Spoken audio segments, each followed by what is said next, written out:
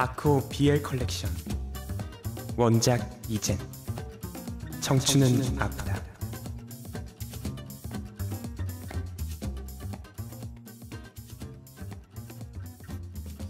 야, 어? 어디서 봤나 했더니 잘 있었냐? 마누라? 들켰다 어, 어떡하지? 뭐- 뭐라고 해야 돼? 수절 잘했냐? 한눈 안 팔고 뭐... 뭐? 수절? 내가 마누라 하나는 잘 뒀지 이렇게 손끝도 여물고 말이야 우리 마누라 수고했는데 뽀뽀라도 해줄까? 야, 어, 어, 헛소리 말고 아, 그거 빨리 사- 상처 치료부터 해야지 아, 아 다리를 끄는 걸 보니 아프긴 아픈 모양이구나. 아, 그나저나 저놈도 알아버렸으니 이를 웃잔자. 마누라! 아이 좀, 아 그렇게 부르지 마. 반창고 좀 잘라봐라 막 부려 먹어라 그래. 왜? 뭐가? 왜 그렇게 쳐다보냐고 왜? 네가 감아줄래? 싫어. 그런데 붕대는 왜 감는데? 반창고 발랐으면 됐잖아. 움직이면 아프니까 이 단단하게 감아두면 허리 쪽은 덜 움직이게 되거든 야, 살살 움직이면 그런 붕대 필요 없잖아. 너 그렇게 다쳤으면서 뭘 얼마나 더 험하게 움직이려고 그러냐? 왜? 그래도 우리 마누라 비명 정도는 지르게 해줘야지. 오늘 잠잘 생각하지 마라. 우리 마누라 엉덩이 얼마나 예쁜지 좀 보자. 넌 그런 농담이 재밌냐?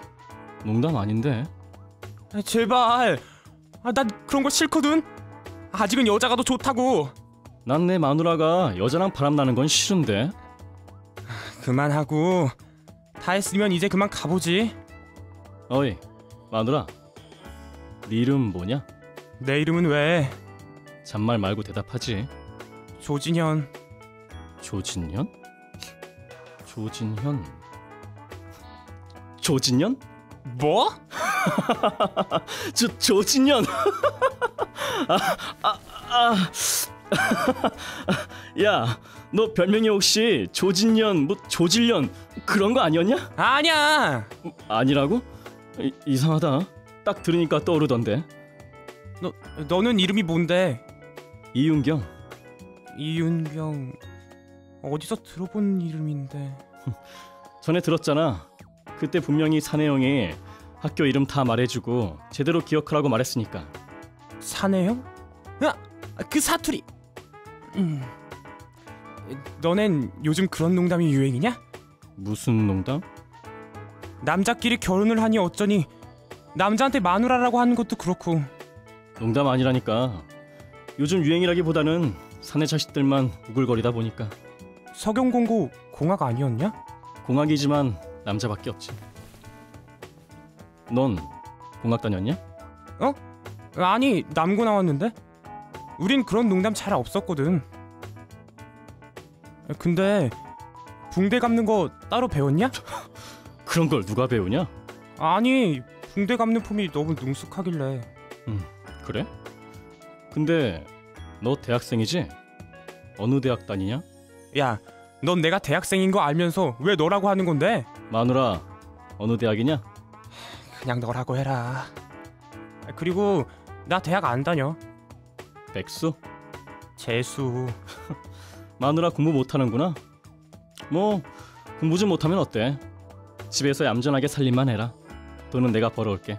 아니야 아니라니까 여름까진 학교 다녔어 나도 과가 마음에 안 들어서 반수하는 중이란 말이야 이제 삼수 시작인가?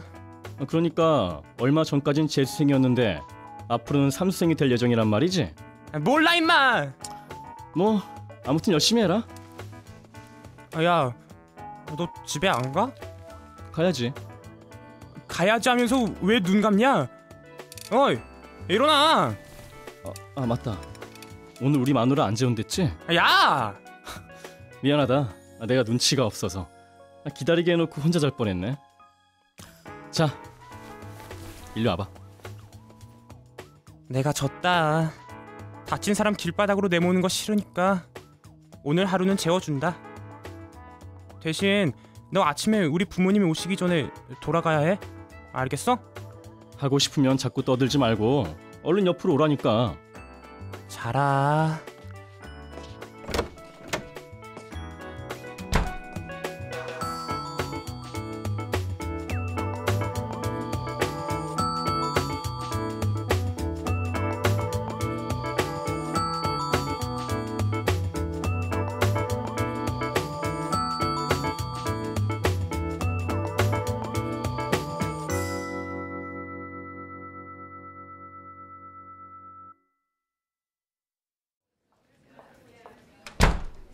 아, 뭐라냐? 폐렴은커녕 감기도 알아본 적이 없대요. 어, 건체였군. 가만 보면 의외로 잔병치레 많이 한 사람들은 큰 병에 안 걸린다니까. 잔병 치레가 잦으니까 병원에 자주 오잖아요. 큰 병에 걸리기 전에 알고 치료를 해서가 아닐까요? 어, 그렇겠지. 반면에 저렇게 감기 한번 알아본 적 없는 사람은 몸이 안 좋아도 컨디션 문제라고 생각하고 넘어가지. 그러다가 병 키우는 거고. 뭔가 아이러니하네요. 인생이란 다 그런 거다. 넌? 넌 잔병치레 같은 거 자주 했냐? 글쎄요. 딱히 그랬던 것 같진 않아요. 감기에 걸려도 금방 털고 일어나는 체질이었고 심하게 아팠던 기억이라고는 젠장. 그게 벌써 7년 전 일이잖아. 왜? 아니요. 딱 한 번 좀 심하게 아팠는데 그게 기억이 나서 얼마나 심하게 알았길래 생각만 해도 얼굴이 굳어? 사고라도 당했냐? 아니 그런 소리 못 들었는데. 감기였어요. 겨울이었는데 비 맞고 여기저기 돌아다니는 바람에 다음날 고생을 좀 했거든요. 야, 이 바보냐? 한겨울에 비 맞고 어딜 쏘다녀? 도대체 언제 그런 미친 짓을 한 건데? 재수 때요. 응, 이, 이 얼빠진 놈 이거 이거 이거. 야, 이거 독하게 알았겠구만. 네, 뭐 그래서 그때 생각만 하면 아직도 온몸이 아프다 이거냐? 그거 완전 트라우마 수준 아니야? 그 정도는 아니에요. 아픈 건 몸이 아니거든요. 더 이상은 그와 관련된 기억은 떠올리고 싶지 않아요. 선배는요? 아, 나도 8층. 밥 먹으러. 역시 4년 차는 다르네요. 오늘 저녁 특선은 뭐예요? 아마 새우 볶음밥일 거야. 뭐 어쨌든 볶음밥은 안 먹지? 네.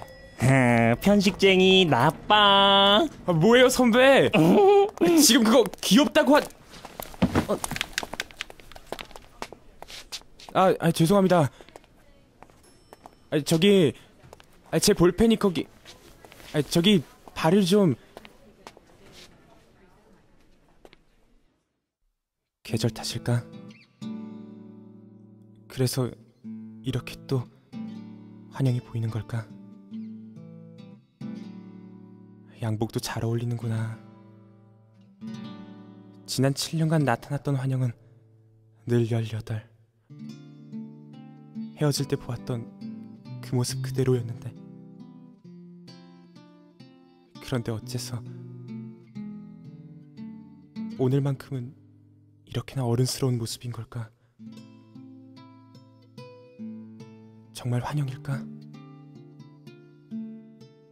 그저 어른스러워 보이는 7년 동안 지긋지긋하게 보아온 신기루일까? 또 잡으려고 하면 사라지 저, 잡혔다? 너, 왜 그래? 너 설마 너 이, 이윤경? 아닙니다. 너 윤경이지? 그렇지. 어이, 너, 야, 너 왜 그래? 너 윤경이 맞지? 이정민 씨, 무슨 일이시죠? 이정민? 무슨 소리야? 얘는 이윤경이라고. 이봐요. 남의 이름을 엉뚱하게 부르지 말아요. 야, 너도 그래. 왜 네가 대답을 해? 너 부르는 거 아니잖아. 네가 이정민이냐? 동시에 들렀다가 내려가겠습니다. 네. 무슨 오해가 있으셨나 봅니다. 아, 아, 예, 죄, 죄송합니다. 이분이 요즘 너무 피곤해서 정신을 못 차리고 있거든요. 아, 원래 이런 사람은 아닙니다. 요즘 좀 일이 바빠서. 아, 예. 네. 그럼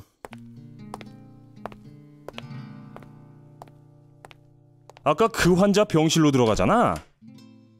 그럼 그건가 보네. 미국 갔다던 아들. 어, 맞네. 이정민. 아까 그분 아들이라고요? 어, 이정민. 22살이라고 되어 있네. 하, 그것보다 좀 더 많아 보이던데. 이거 아버지랑은 달리 노안이구만. 이정민. 나 먼저 갈게. 야, 정신 차려라, 임마. 네, 선배.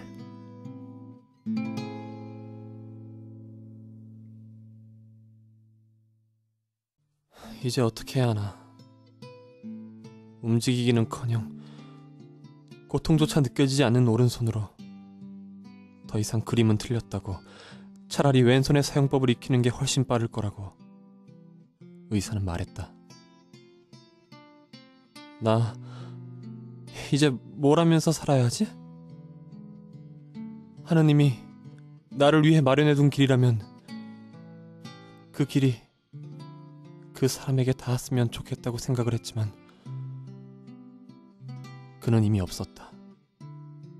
그가 살던 집의 이웃에게서 들은 이야기론 유학을 갔다고 했다.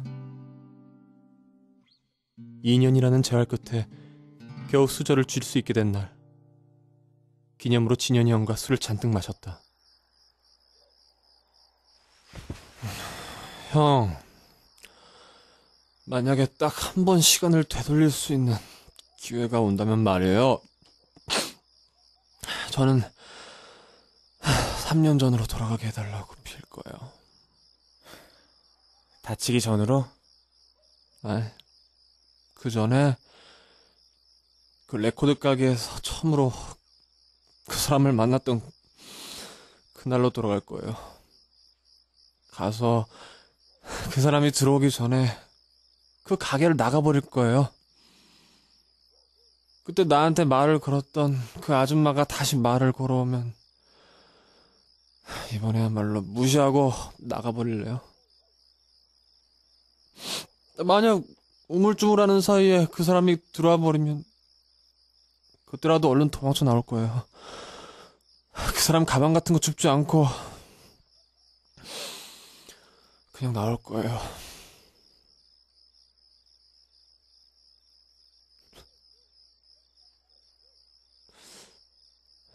난 내내 생각해왔어요. 나와 그 사람이 만난 데에는 무슨 이유가 있을까? 왜 만났을까? 우린 도대체 왜 만난 거죠? 그 사람은 도대체 뭐죠? 그 사람은 도대체 뭐예요? 날 힘들게 하려고 하느님께서 보내신 사람인가요? 내가 뭐 그렇게 잘못됐길래 도대체 얼마나 큰 죄를 지었길래 이렇게 힘들어하는 거예요. 너무 후회돼요. 다시 그날로 돌아갈 수만 있다면 나는 뒤도 돌아보지 않고 그 가게를 뛰어나올 거예요.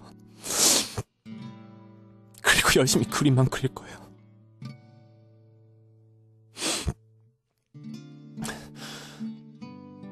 형 미안해요.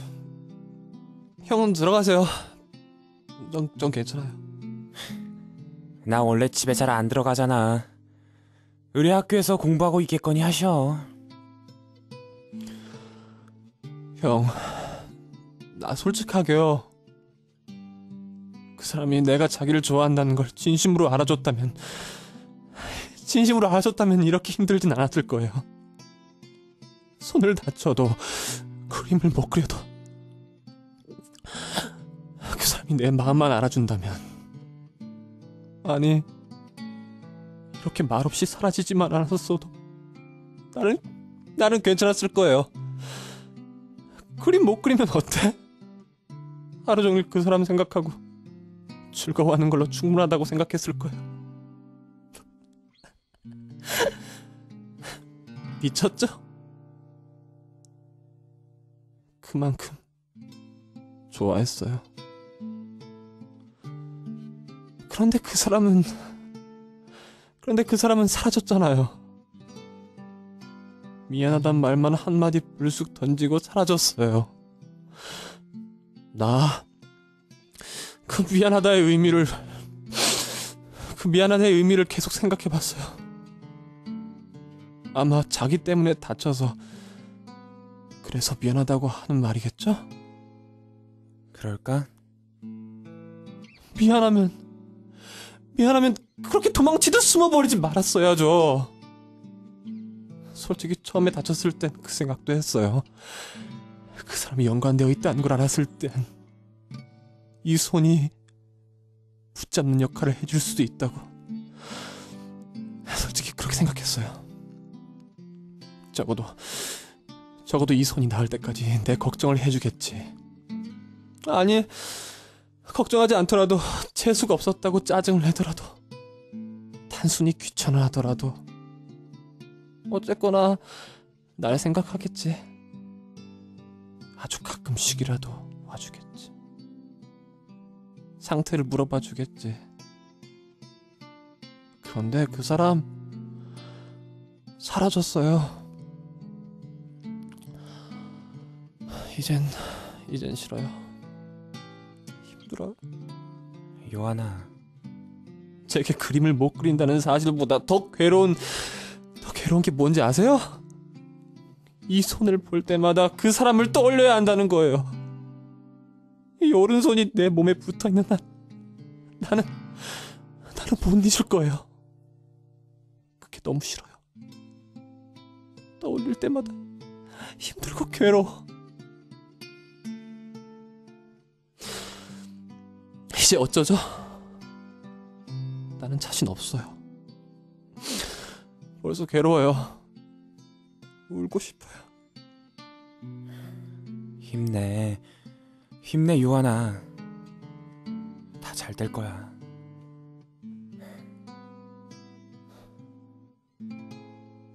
그날 버스 정류장의 대형 광고에 적힌 국내뿐 아니라 전 세계적인 스타가 될 수 있는 처음이자 마지막 기회라는 거창한 호언과 주최 기획사가 내건 슬로건에 내가 어떻게 살아야 하는지 마음을 먹었다.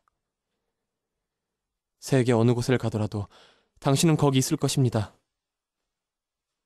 그러니까 그 세계 어느 곳 가운데 분명히 그 사람도 있을 거야.